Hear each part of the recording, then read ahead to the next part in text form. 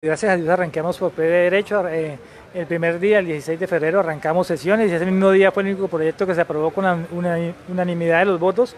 Fue el proyecto de cáncer, donde ya nos busca, si sabemos que hay diferente normatividad y, y, modificamos la ley Sandra Ceballos para que no solamente estos beneficios de estas leyes sean solamente para los pacientes diagnosticados, sino que con sospecha de cáncer puedan acceder al sistema.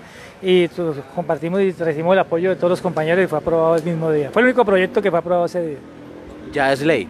Eh, pasa a su último debate en la Comisión Séptima de Senado y eh, Senado de Cámara y esperamos que antes de finalizar el, semestre esté aprobado y viabilizado porque realmente no, no hay objeción. Lo que cada día se recibe son aportes muy importantes que son recibidos, pero no creo que tenga problema alguno.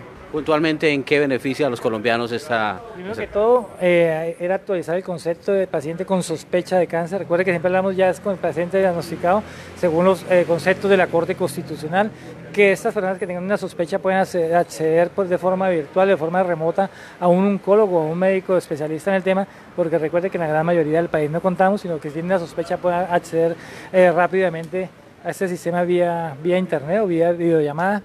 Eh, uno que no solamente cobija al paciente con diagnosticado, sino que también a sus familias y más a, esas eh, a esos familiares que están acompañando a sus pacientes con, en sus cuidados paliativos tengan una atención eh, también prioritaria si tienen alguna sospecha, alguna problemática.